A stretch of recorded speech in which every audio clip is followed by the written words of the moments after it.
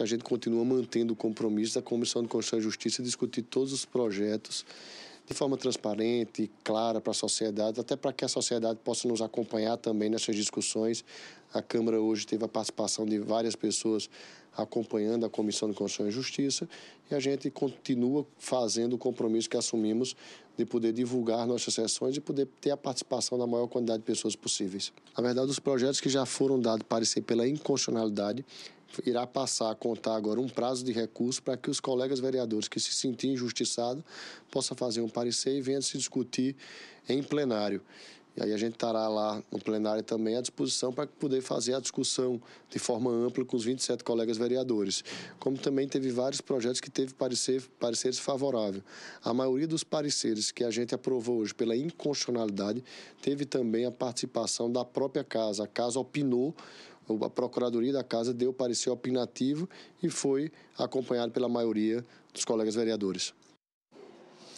É isso, Rosângela. E lembrando que daqui a pouquinho tem sessão ordinária aqui no plenário da Câmara, né? Prevista para começar às nove e meia por aí. Dois vereadores já estão inscritos, o vereador Helena Holanda, que está por aqui já, e o vereador Carlão. Alguns vereadores já chegaram, estão em seus gabinetes. A movimentação aqui ainda é pouquinha, mas daqui a pouco a gente sabe que começa bem. A gente, claro, vai acompanhar essa sessão. Daqui a pouco, ainda nesse bloco, eu trago os detalhes da agenda da semana. E ainda nesta edição nós vamos conversar com o vereador Carlão. É que os vereadores da Câmara Municipal de João Pessoa participaram ativamente na, de quinta até domingo do Hackfest e especialmente da virada legislativa. Cinco projetos de lei foram elaborados, dois nacionais, três municipais e já estão no aplicativo Mudamos. Veja como foi o encerramento desse evento que já ganhou prestígio nacional e que une forças de vários setores da sociedade. Gente unida para criar ferramentas tecnológicas e leis de iniciativa popular. Veja. Foram mais de 30 horas de maratona, cerca de 250 participantes, divididos em 26 equipes, desenvolvendo programas, ferramentas, aplicativos e projetos de lei de iniciativa popular. Durante os quatro dias de evento, que aconteceu na Estação das Artes, os participantes puderam conferir também palestras, painéis, oficinas e a maratona por mudanças. Neste domingo, os resultados foram apresentados. No total, 23 programas e 5 projetos de lei. O Hackfest Virada Legislativa teve como tema este ano por uma sociedade politicamente participativa. Por isso, várias instituições como o Ministério Público, o TCE, a CGU, a Câmara Municipal de João Pessoa se uniram com a ajuda da tecnologia para que, com a exatidão dos números, dos códigos, dos sinais, ficasse mais fácil descobrir onde é que está o problema.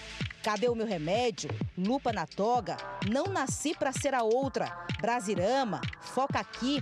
Câmara das Deputadas e Me Diz Quem Tu És podem ajudar a clarear as informações que muitos querem esconder. Essas foram as sete melhores soluções premiadas neste Hackfest. No Ministério Público de Santa Catarina, a gente percebia que muitos cidadãos não conheciam que poderiam obter remédios gratuitamente. Então a gente desenvolveu um aplicativo que já está disponível no site e na versão Android, na loja do Play Store já está disponível. E ele vai conhecer os mais de 850 remédios que ele pode retirar gratuitamente, tanto pelo nome comercial quanto pelo fármaco Além disso, ele vai saber qual que é o próximo, o mais perto de onde ele está, mais próximo, num raio de 50 quilômetros. Ele vai indicando quais estão disponíveis. Se o mais perto não está disponível, vai o seguinte. Além disso, se ele não encontrar o remédio, ele vai ter um canal que ele reclama e vai formando um ranking mensal municípios que não estão prestando serviço adequadamente. Essa solução vai ajudar o município a identificar se há um desvio, a quantidade é insuficiente e o órgão público a fiscalizar.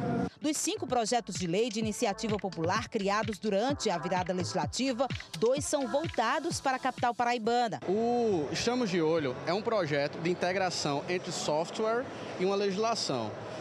O grande problema hoje que enfrentamos é a segurança pública. Os dados são alarmantes, então resolvemos trazer uma solução para isso, que é a integralização do sistema de segurança. Veja bem, se você tem uma câmera no seu prédio, há algum problema de ceder essa câmera para a polícia? nenhum problema. Isso você vai ajudar muita gente e a polícia vai ter sistema integrado. Para incentivar esse projeto, trabalhamos com a redução do IPTU estamos fazendo uma proposta de lei de reduzir entre, 15, entre 5% e 15% do IPTU para as pessoas se adequarem ao sistema. Sim, ao invés de você comprar software pago, que você fica refém da licença por muitos e muitos anos, você utilizar software livre. O governo mesmo, porque assim, se um órgão público de qualquer lugar já está utilizando um software e ele for livre de código aberto, qualquer outro órgão público pode fazer um, um acordo de cooperação. Às vezes nem precisa disso e utiliza o mesmo software, porque assim, vários municípios, vários estados têm o mesmo problema e todos eles pagam para ter um software que pode já estar tá existindo na mão de alguém, entende? Aí, assim, o Brasil, no, no, na esfera federal, gasta quase 6 bilhões de reais com software. Desses 6 bilhões, 3,7 são só de renovação de licença. E assim, existem muitos softwares livres já prontos que podem ser utilizados e as pessoas podem também se conscientizar para construir do zero já como software livre, porque daí outro, outro município, outro órgão, outro ente governamental fala, olha, eu tenho um problema parecido que João Pessoa já resolveu e eles têm um software lá. E a gente não vai pagar mais por ele, vai pagar no máximo para adaptar.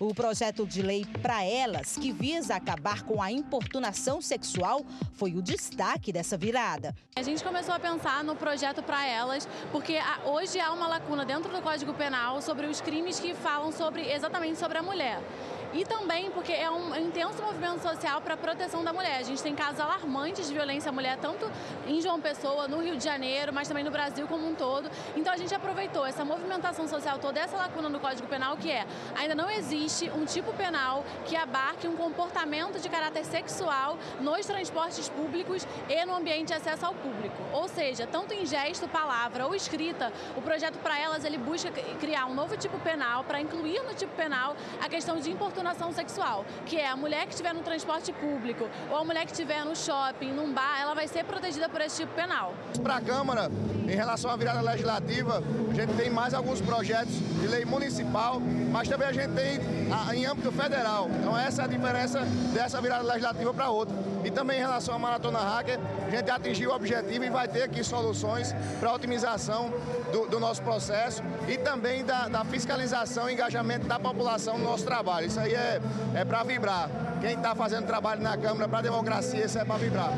Para o Procurador-Geral do Ministério Público da Paraíba, Francisco Seráfico, o Hackfest cumpriu com seu papel, o de tentar combater a corrupção no Brasil com a ajuda das tecnologias e do cidadão.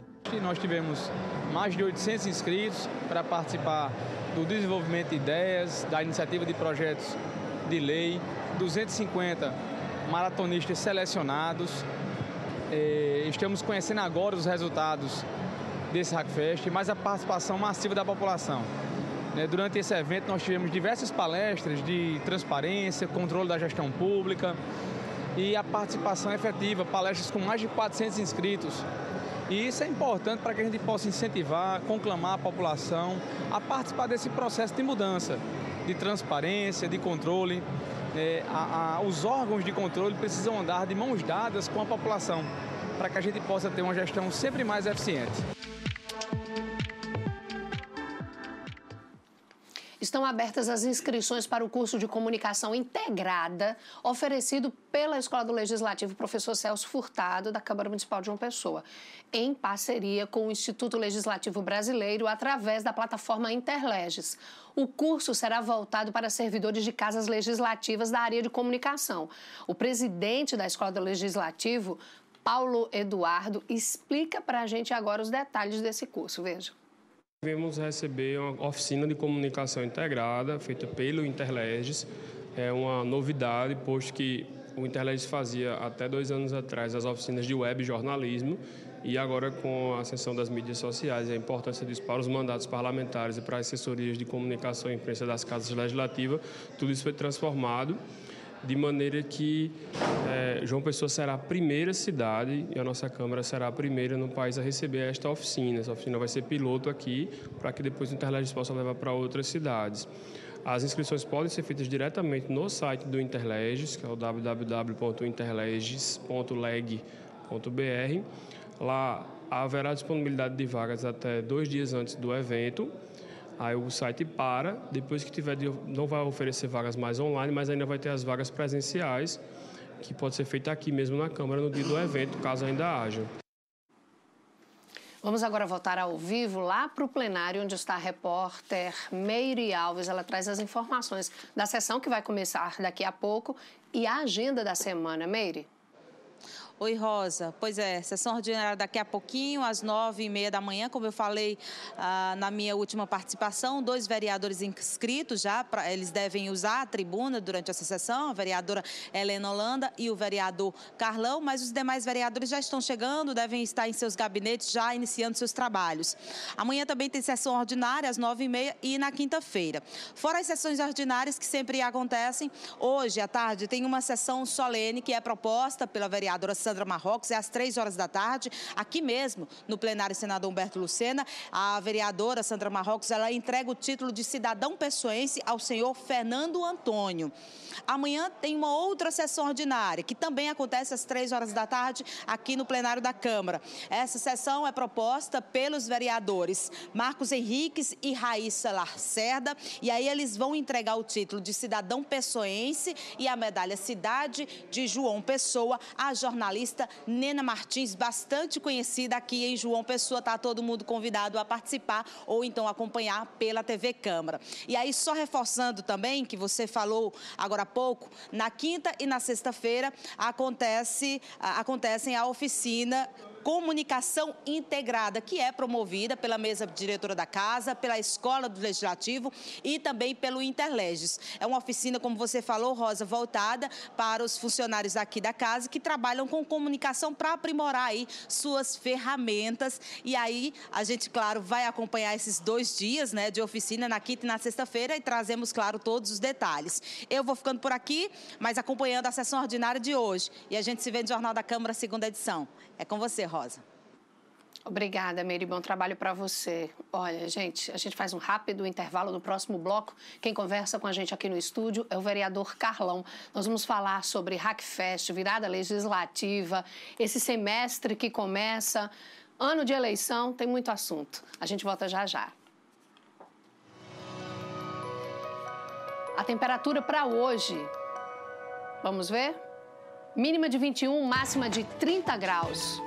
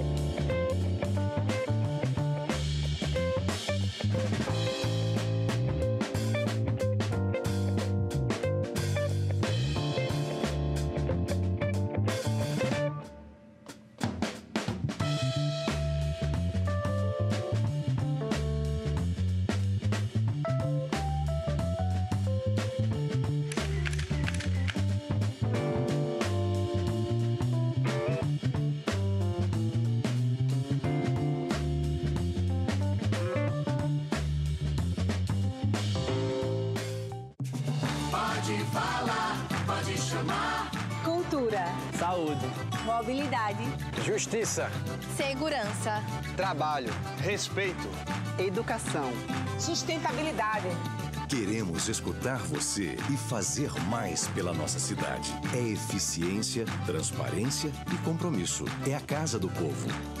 Câmara Municipal de João Pessoa. O lugar para a sua voz falar mais alto.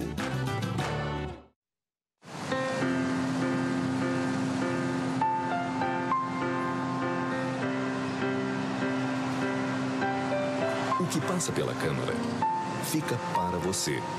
Câmara Municipal de João Pessoa.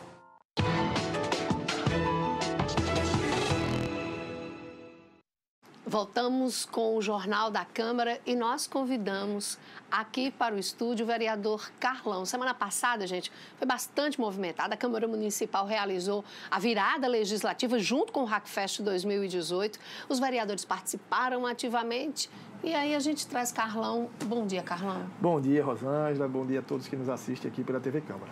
Olha, vereador, é... a virada legislativa lhe vi algumas vezes lá no Hackfest. Os vereadores participaram de quinta até domingo né, de, desse evento grandioso que se tornou o Hackfest. Junto com a virada legislativa, cinco projetos de lei que já estão aí no Mudamos para que as pessoas possam ir lá, colocar sua assinatura e trazer esse projeto para a Câmara Municipal de João Pessoa. Dois são voltados aqui para o nosso município. Como é que o senhor avalia essa, esse evento e a participação dos vereadores? É muito bom a gente poder falar sobre isso. Né? Eu tive presente, sim, todos os dias né, do Hackfest, com exceção, acho que, da sexta-feira. Mas a, a grande necessidade que a gente tinha e precisa é, é, é trazer o evento que tratava contra a corrupção, combate à corrupção, e trazer uma casa legislativa para dentro desse grande, dessa grande discussão. E aí é onde acho que é, é onde a gente, a Câmara Municipal de João Pessoa, mais uma vez, ela se sai na frente junto a essa grande discussão que tem que estar com as pessoas.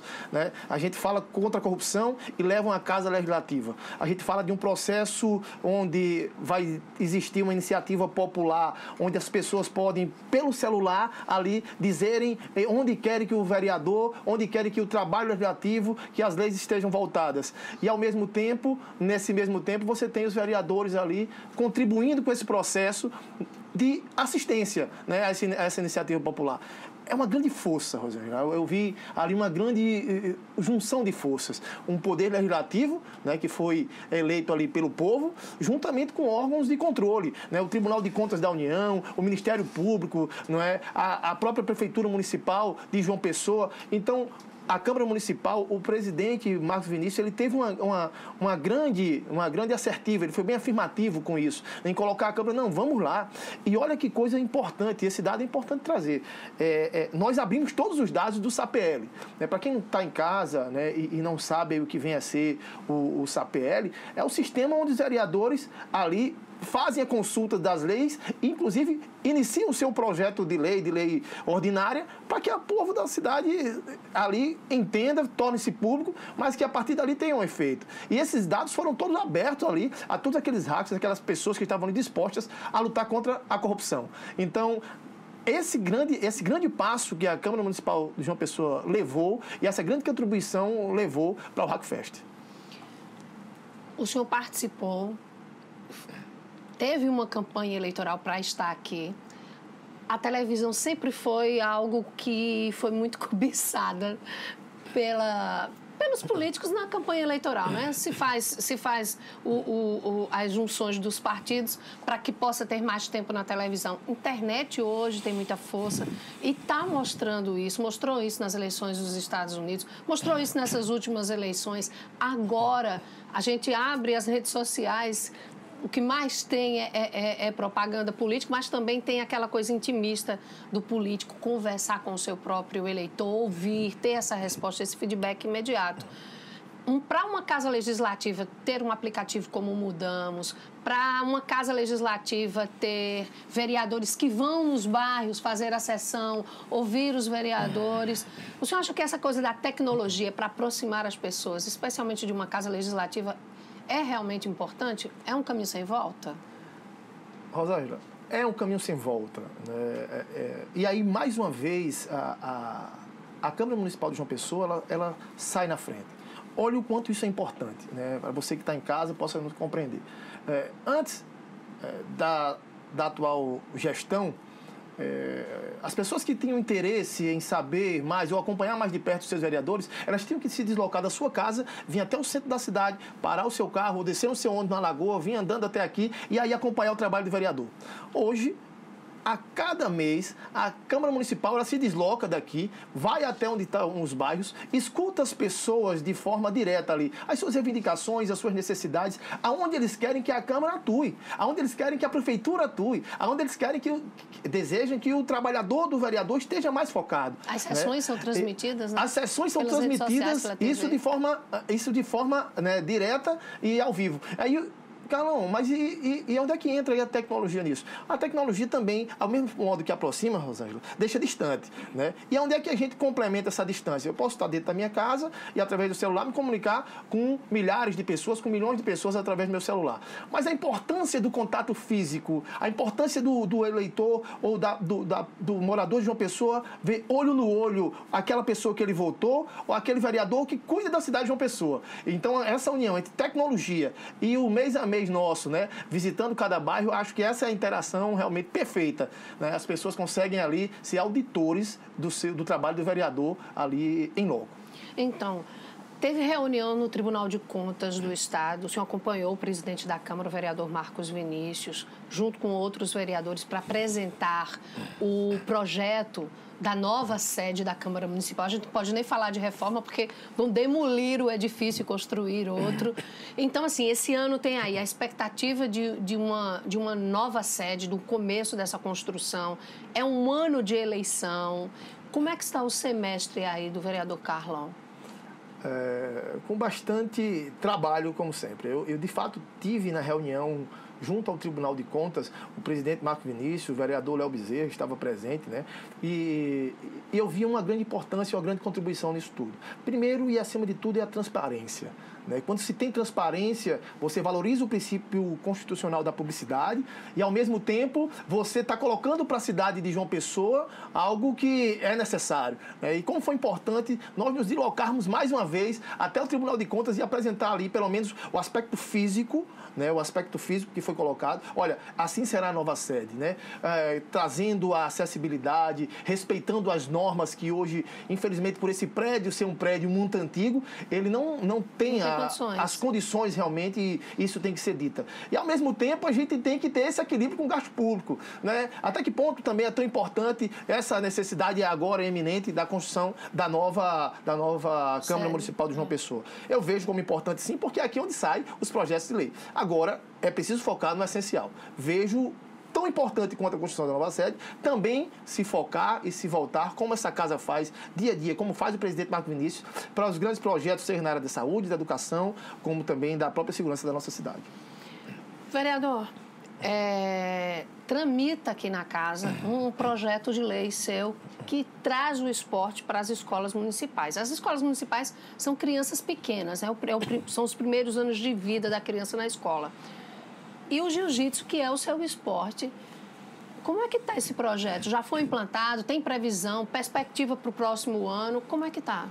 Bem, esse foi um dos projetos né? Eu venho do esporte, eu vim do esporte como jiu-jitsu, mas esse, essa, esse projeto de lei, ele contempla, na realidade, todas as artes marciais e esportes de combate. E, e, o, que é que quer, o que é que eu quero fazer com isso na realidade? Primeiro, ah, quando a pessoa, a criança, ela é um desportista, ela passa a respeitar alguns princípios norteadores. Né? A exemplo da, da, do valor que você tem que ter o outro, do valor que você tem que ter o adversário. Eu cresci muito né, enquanto desportista, porque acima de tudo, o meu desejo de vencer, o meu desejo de combate, de vencer aquela luta, era no respeito ao outro. Não é? Eu queria derrotá-lo, mas não queria humilhá-lo. Eu queria vencê-lo, mas não queria subjugá-lo. Então, essas coisas, Rosângela, que são passadas no dia a dia, valores de cidadania, valores de respeito, de dignidade, de honradez, de compromisso com a palavra e, acima de tudo, hierarquia. A gente consegue ver muitas vezes dentro da educação das nossas casas, infelizmente, os pais não têm mais controle sobre os filhos, os pais não conseguem se impor, os pais não conseguem ter a sua autoridade de pai, a sua autoridade de mãe. E o esporte, muitas vezes, ele não faz isso né? não tira essa autoridade, mas ele complementa. Imagine um professor ali, quando ele diz os regramentos que tem que ser. Rosângela, é, olha só, é, é, quando eu falo desses esportes, e aí não só o jiu-jitsu, karatê, kung fu, capoeira, taekwondo, muay thai, judô, né, é, boxe. Até o próprio futebol, né? tudo tem regra, né? Tem Exato, que, é. então o próprio esporte coletivo, tudo tem regra, tudo tem respeito, tudo tem, traz o princípio da união para vencer aquele, aquele, aquele adversário. E o respeito tem que estar nisso tudo. Mas qual é um dos pontos, acho que é fundamentais nisso tudo, e eu entendo, é essa valorização do respeito, Rosângela. É preciso sim que se tenha respeito ao outro, independente de que ele pense contrário a mim, independente até, olha só, de que ele seja meu adversário, não é? Então, mesmo ele sendo meu adversário, eu devo respeito a essa pessoa, pelo ser humano que ele é, né? Obviamente que existe aí nesse caminhar, né, alguns momentos em que você se descontrola, em que você vai perder um certo equilíbrio, que faz parte de todo ser humano. Mas o esporte, os esportes de combate, essa implantação dentro das escolas de tempo integral que já existem, vai favorecer muito a educação dentro de casa e no respeito aos professores, que é o que a gente precisa. A sessão ordinária tem hora para começar, eu sei que já estão lhe chamando, mas eu queria saber, emendas impositivas, que a gente chama aqui de emenda cidadã, já tem alguma que já está funcionando e que o senhor destinou? Já temos sim, Rosângela, e, e, de fato foi o primeiro ano, eu cheguei junto com essa mudança, com essa renovação, com essa transformação, não é? E, e as emendas impositivas minhas, inclusive, foram voltadas para o terceiro setor. E, e, eu falo terceiro setor, é como a forma da a organização pública o chama, como a economia o chama. Nós, enquanto igreja, nós, enquanto pessoas missionárias, entendemos como isso, como missão, não é? Então, o que é, que é o terceiro setor? Nada mais é do que pessoas do seu dia a dia se envolvam e se engajem em problemáticas do dia a dia, seja respeitando aí, no caso, trazendo as crianças que estão em situação de vulnerabilidade, você cuidando de um idoso, como é o caso da Aspan. Então, a minha emenda positiva foi voltada para uma associação São José, onde trabalha com esporte, cuida da primeira infância, da segunda infância e da terceira infância, e também valores que foram colocados junto ao hospital Padre Zé, que cuida também com muito carinho daquelas pessoas que têm problema na sua saúde. Ok, então, vereador, muito obrigada pela sua participação. A gente espera contar com o senhor outras vezes aqui no Jornal da Câmara. Gente, o tempo está correndo, daqui a pouco começa a sessão ordinária, nós ficamos por aqui. Só quero lembrar você que a gente volta no Jornal da Câmara, segunda edição, a partir de uma da tarde. Você fica com a transmissão ao vivo da sessão ordinária de hoje. Até a tarde.